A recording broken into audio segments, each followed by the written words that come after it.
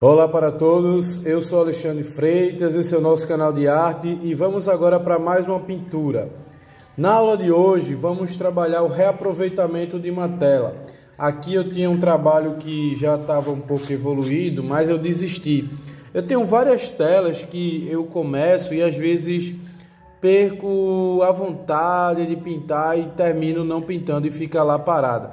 Se isso também acontece com vocês, fala alguma coisa aí, tá? Então eu tenho aqui uma série bem grande né, de telas que eu às vezes começo, mas termino perdendo a vontade de dar continuidade. Isso aqui era uma série de beija-flor no ninho que eu ia fazer, mas ficaram aqui encostados, já estão aqui há mais de anos e eu decidi reaproveitar essas telas para fazer aulas de flores para vocês. Então a gente vai continuar nas flores e eu vou começar a apresentar aqui um trabalho para vocês. Então eu tenho essa tela aqui que já foi pintada, tá? É, e aqui eu vou desistir dessa pintura e vou fazer rosas, tá? Vamos trabalhar rosas. As cores estão aqui, anotem aí por favor. Branco de titânio, magenta, amarelo de cádmio, verde esmeralda e azul cobalto. Então eu tenho aqui primária, primária, primária e secundária. E branco que não é cor, tá? Branco é ausência de cor. E aqui a gente tem uma tela já totalmente seca. Ao meu trabalho eu vou adicionar esse produto aqui, ok? Que é chamado o gel mídio. Ele aqui está em forma de gel, mas ele também pode ser preparado. Se você não tem ele pronto, você pode fazer a mistura, ó, a mistura do óleo de linhaça com o diluente. Então, essa é a forma líquida dele, é o meio a meio, tá? Inclusive eu já deixo pronto. Eu já deixo pronto aqui, ó, uma certa quantidade, eu não deixo muito, mas eu já deixo pronto aqui uma certa quantidade. Só que existe também essa versão dele em gel, tá? Existe a versão dele em gel. Então eu vou pegar um pouco dessa versão em gel, eu vou pegar um pouco aqui tá? É, lembrando que essa tela foi pintada com tinta óleo e esse produto é um produto específico para óleo. Então eu vou pegar aqui, ó, um pouco desse gel e vou dar uma camada aqui na tela. A mesma coisa eu poderia fazer se fosse um milho. Esse também é um milho, só que ele é um milho em gel.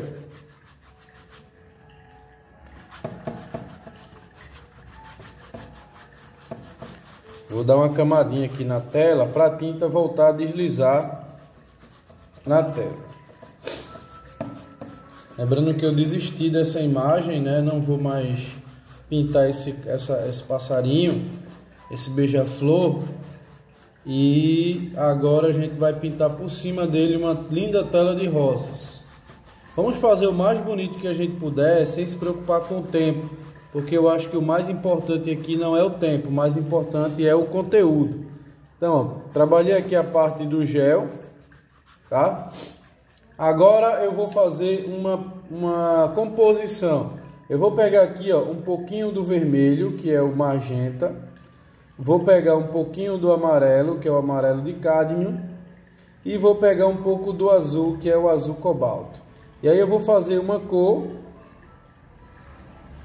que é uma cor parecidinha com ocre, vermelho, azul e amarelo, que é as primárias. E aqui eu vou criar um quadro, vou pegar aqui, vou criar um círculo, não preciso mais diluir aqui, por quê? Porque a tela já está molhada, ela já está úmida, então não preciso mais diluir essa tinta. Isso aqui é uma técnica, tá? Existem várias. Ó, aqui eu faço esse oval ou essa elipse, tá aqui a elipse ou oval. Essa elipse é onde está todo o ponto de interesse. Então tudo que eu for pintar vai estar tá dentro desse ponto de interesse, tá lá. Isso aqui é a aula de composição. Então eu vou pintar o número 3, né? Eu vou pintar três rosas. Eu vou colocar uma rosa aqui. Eu vou colocar outra aqui encostadinha a ela e vou pintar outra aqui. Então eu vou ter três rosas, tá? Eu vou ter duas rosas rosas e uma rosa branca, tá? Duas rosas rosas e uma rosa branca. E agora eu já risquei, mas se você caso não estiver vendo, você escurece, ó, usando um pouco mais de vermelho com azul, você já faz uma cor mais escura e aí você tenta visualizar melhor, ok, a parte onde você vai fazer as pinturas. E aqui vão ter folhas, então não tem importância se caso não der para ver bem. Mas eu já vou deixar as flores bem demarcadas. Vou deixar as flores aí bem marcadas. Essa daqui, ó, ela vai ser magenta, então eu já vou pegar o magenta. Eu vou tocar com branco para melhorar a cobertura, porque o branco ele tem uma ótima cobertura. E aí eu já vou usar o branco aqui nessa que vai ser a rosa rosa. Vão ser duas rosas rosas e uma rosa branca, tá?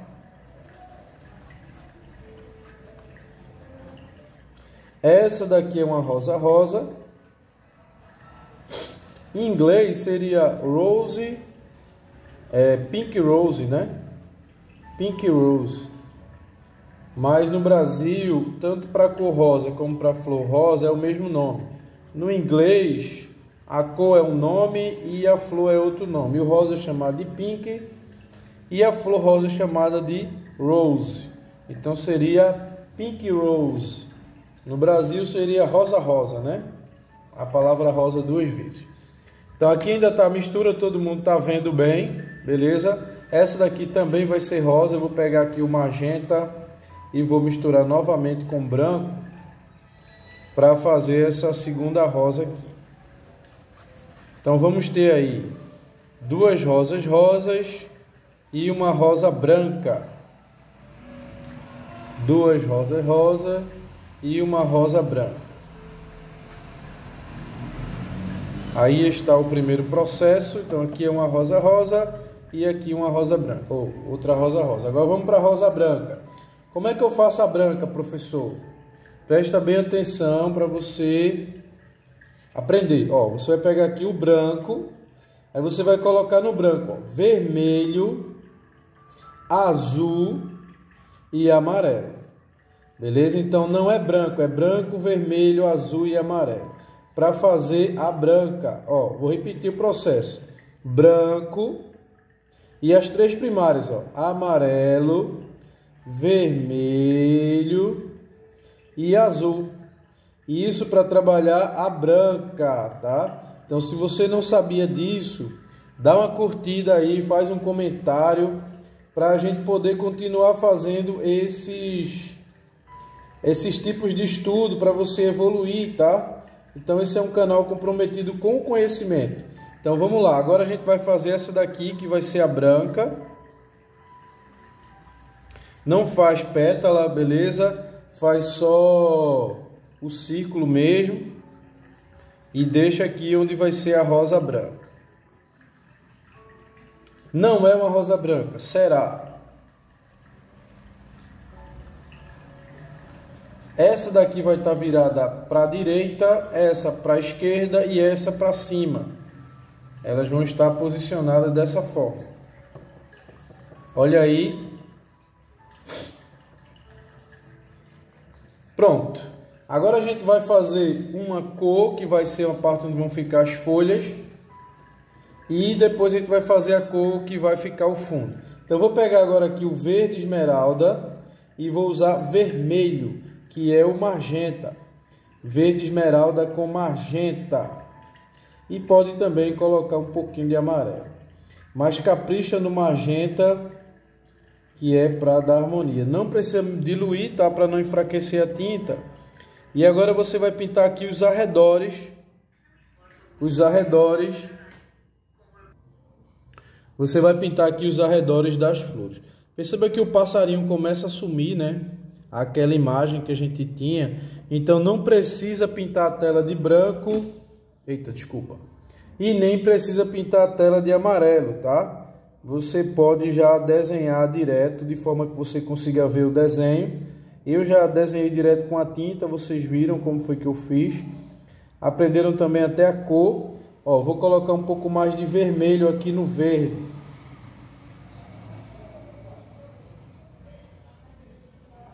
Pessoal, se vocês estiverem gostando desse conteúdo ou se vocês também tiverem interesse em outros conteúdos, por favor, façam um comentário de alguma coisa que vocês queiram aprender, porque aí quando eu for ensinar eu cito o seu nome, né?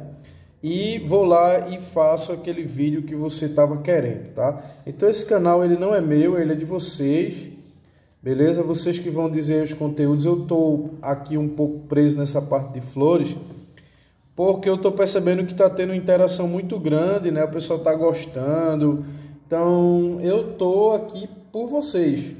Beleza? Então, se vocês estão gostando do conteúdo, o canal está tendo uma boa aceitação, está crescendo muito rapidamente, o que é muito bom.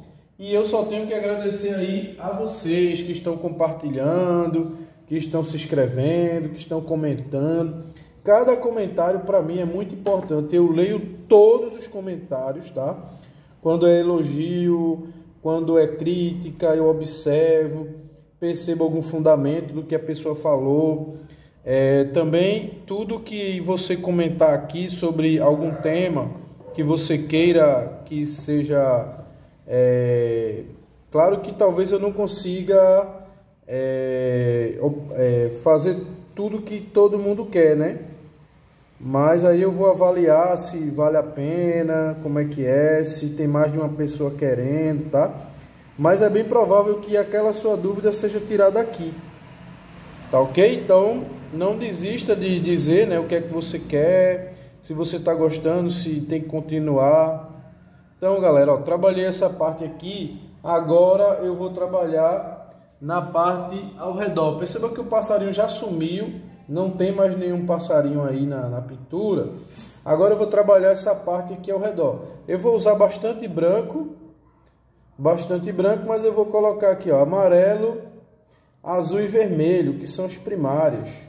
E vou começar a trabalhar essa parte do fundo. Eu não preciso, eu não preciso é, fazer uma única cor, eu posso ir mudando o tempo todo. Eu vou fazendo misturas e vou colocando, só que eu vou batendo aqui no verde, ó. naquela parte onde eu fiz o escuro, eu vou invadindo. Eu invado essa parte, eu vou invadindo essa parte, ó. já vou fazendo alterações nas cores. Eu vou invadindo aqui, ó, e já vou dando cor. E aquela parte do fundo, ela vai desaparecendo. Percebam que eu não estou mais diluindo a tinta para não enfraquecer, porque eu estou querendo cobrir é, aquela cor que está lá embaixo. Então, se eu diluir a tinta, ela vai ficar fraca. E aí eu não vou conseguir cobrir a que está embaixo. Por isso que eu passei o milho, tá? Se alguém quiser saber o motivo, foi esse. É porque eu queria usar tinta pura. Só que a tinta pura, ela é um pouco grossa. Ela é um pouco seca. E se eu fosse colocar ela aqui, ela ia ficar arranhando, travando. Então, para ela correr bem, para ficar bem uma pintura bem macia, né, sem muita dificuldade de correr na tela, eu passei aquele gel mídio. O gel também, o mídio ele também pode estar em forma líquida, tá? Que é a mistura do óleo de linhaça com o diluente que eu ensinei aqui já em outras aulas. Se você não viu, vai aí nos vídeos antigos, começa a assistir Pessoal, o nosso canal ele está crescendo, mas está muito pequeno, até porque também é um canal muito jovem, né? Eu também nem posso reclamar nesse aspecto. Mas se você puder ajudar para esse canal crescer rápido, eu agradeço a você e garanto a você que o conteúdo que você deseja vai estar aqui nesse canal, tá? Eu agora acrescentei um pouco mais de vermelho e amarelo, e aí eu fiz um tom mais alaranjado, e eu sempre digo aí nas minhas lives, né? que essa pincelada é chamada de pincelada é, curta e cruzada, mas na verdade ela não é curta e cruzada, ela é curta e aleatória, tá? Por quê? Porque ela não tem uma direção certa. Você pode pintar em todas as direções. Alguém falou numa live é, a questão da aleatória e eu gostei mais do que o curto e cruzado, porque não é cruzada, ela é aleatória, ela pode ser para qualquer direção mas ela não pode ser muito longa, ela tem que ser curtinha, ela não pode ir muito longe para deixar pequenas manchas aí no fundo.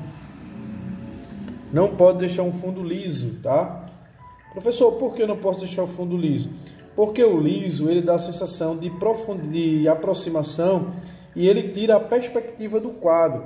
Então por isso que eu não aconselho o fundo liso, tá? Porque ele tira a perspectiva do fundo. Quando você deixa o fundo manchado, a sensação é que esse manchado são algumas folhas e coisas que tem no fundo, e aí dá uma sensação de perspectiva é, de que tem mais coisas ali no fundo. Por isso que a gente não não deixa liso, tá? A gente sempre coloca esse borrado, que é para dar a sensação de mais elementos lá no fundo.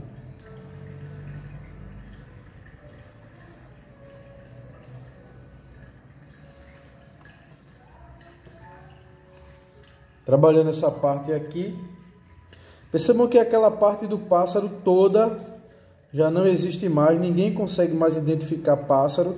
E isso vai lhe ensinar uma coisa, que quando você tem uma tela que já foi pintada e você quer pintar algo por cima, você não vai precisar repintar a tela, senão fica muita camada de tinta e até para a tela secar vai demorar muito, tá?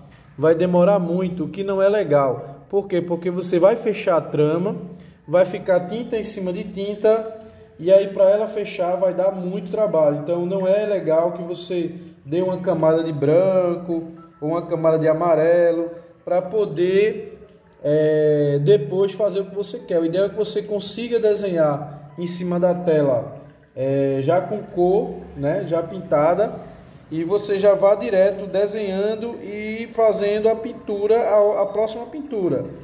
Não precisar dar alguma camada por cima para só depois, não é legal, tá?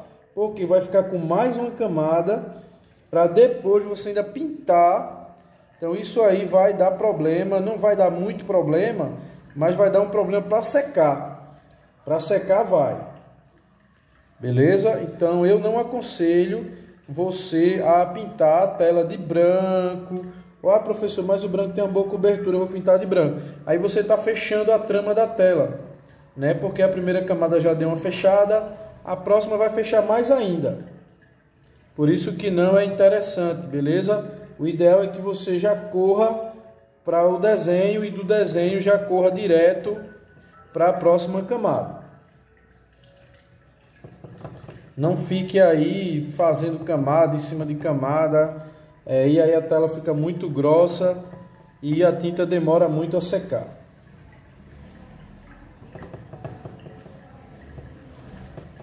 Desejo bastante que essas, essas aulas estejam ajudando vocês. Essa é a minha intenção. Agora eu preciso que vocês façam um comentário para saber se realmente está ajudando, né?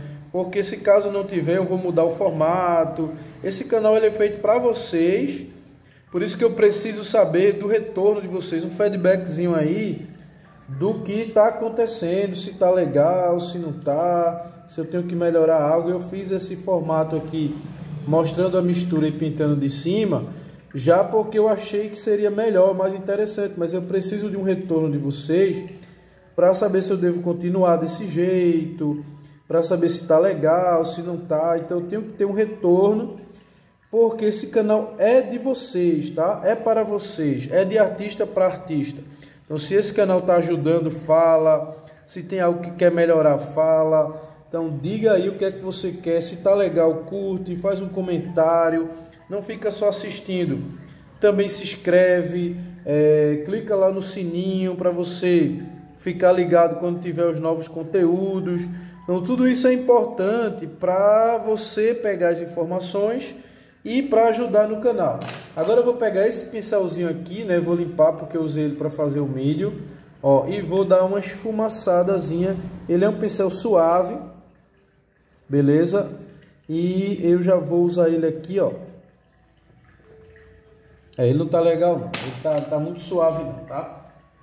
Eu vou usar esse aqui mesmo com mais cuidado. Eu vou pegar bem aqui no fundo do pincel para suavizar a mão e vou tentar tirar um pouco aqui essa parte.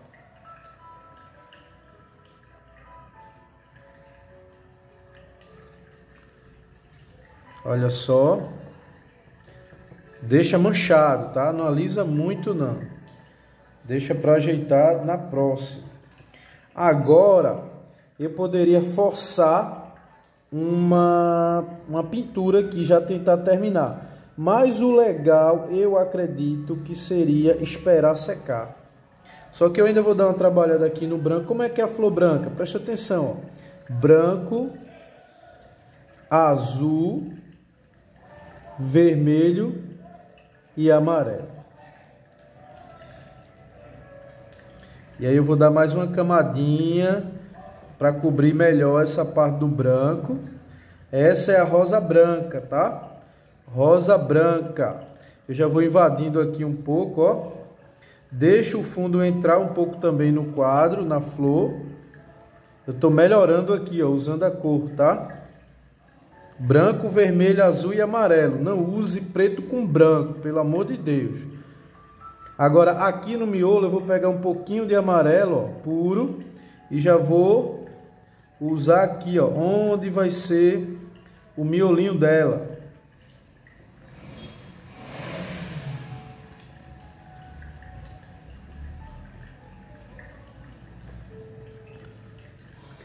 Agora eu vou pegar aqui o magenta, olha, e vou botar um pouquinho de azul cobalto nele, só um pouquinho de azul, e já vou colocar uma corzinha aqui na parte onde vai ser a sombra.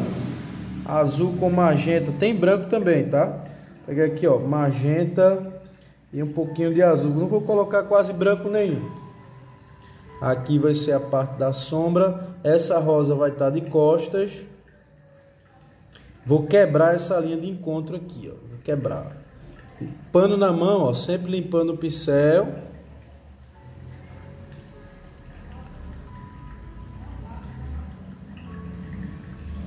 Nessa parte de cima eu vou colocar aqui, ó, magenta com branco. Para cá, ó, para essa parte aqui do alto. Já não vou colocar azul quebra a linha de encontro, não deixa a linha. Dá para fazer lá prima, professor? Dá, mas eu acho que não fica tão bonito quanto se você daqui esperar ela dar uma secada, porque o próximo você já vem fazendo o acabamento. Beleza? Pode até pegar um pouco desse magenta aqui, ó, e dar uma sujeirinha dele aqui no fundo, por aqui, tá? Mas quebra bem a linha de encontro, ó, não deixa a linha, beleza? Olha onde é que eu tô pegando no pincel lá no finalzinho, tá? Então pega no final do pincel para a mão ficar bem suave. E agora eu vou fazer a mesma coisa com essa daqui. Vou pegar o magenta com azul. Já vou dar uma trabalhada aqui, ó. Vou quebrar a linha de encontro. O ideal seria trabalhar nessa tela já amanhã, beleza? No dia seguinte, porque ela vai estar na fase que ela vai estar, a gente chama de, a tinta vai estar mordendo. Ela nem vai estar seca e nem vai estar molhada. Ela vai estar num ponto que ela tá com a tinta querendo secar. Aí você vai lá e trabalha, beleza, nela e você consegue um bom resultado porque não vai precisar passar mais milho, não vai precisar passar mais nada.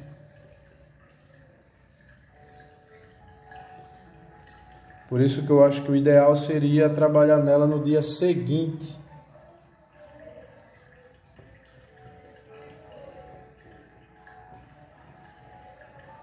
Se você está gostando desse conteúdo, do jeito que está sendo passado, não esquece de fazer um comentário, galera. Esse seu comentário é o que vai ajudar o canal a crescer e vai atrair também outras pessoas, vai ajudar o pessoal também a, a ter uma aprender, né, ter acesso ao canal. Muita gente não sabe que esse canal existe e vai ficar sabendo a partir do seu comentário, que o seu comentário vai fazer o canal crescer. Beleza? Então não deixe de fazer um comentário aí, dizer alguma coisa, mesmo que sejam só, ah, professor, gostei, o formato tá legal. Mesmo a pessoa que não é muito de falar, mas se você está gostando, eu acrescentei um pouquinho de magenta, magenta com amarelo. E aqui eu dei uma escurecidazinha aqui, ó, essa parte. Pincelada meio quadrada. Aqui eu vou pegar um pouco do Aqui eu vou pegar um pouco do verde com vermelho e já vou que essa flor ela tá de costas. Pegar um pouco mais do vermelho. E já vou puxar aqui o talo.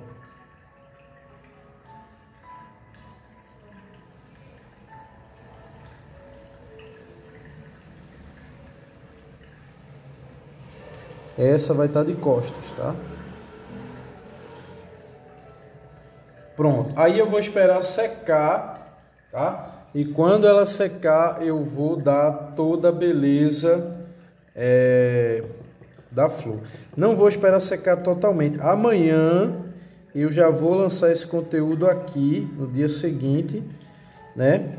E você já vai poder assistir a conclusão ou então parte da conclusão dessa pintura. Se você gostou, curte, comenta, mas acima de tudo não esqueça de se inscrever no canal.